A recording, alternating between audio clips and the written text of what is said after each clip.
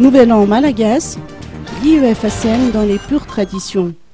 En cette ère de mondialisation et constamment en diapason avec tout ce qui entoure la modernisation et la haute technologie, l'établissement scolaire IEFACM, IFACM, ne néglige pas pour autant les us et coutumes malgaches.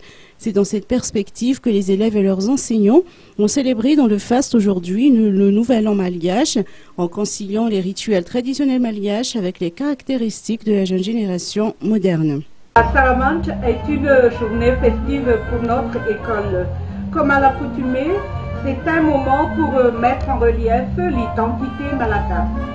En effet, les élèves vont se vêtir de leur accoutrement traditionnel et bien sûr danser au rythme du Bakchazan.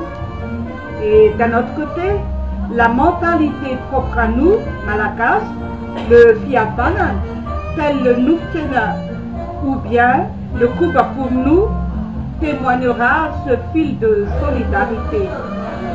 Sur ce, l'UF communique à tous nos jeunes Malakas la fierté d'être Vêtus des atonnels à l'image de l'époque de la royauté malgache, les 600 élèves de l'IUFASM des classes de 6e en terminale, ainsi que leurs enseignants et invités ont donné une représentation scénique remarquable par des danses et chants folkloriques au vivant, très représentatif de l'époque royale et clôturé par la distribution du kouba traditionnel.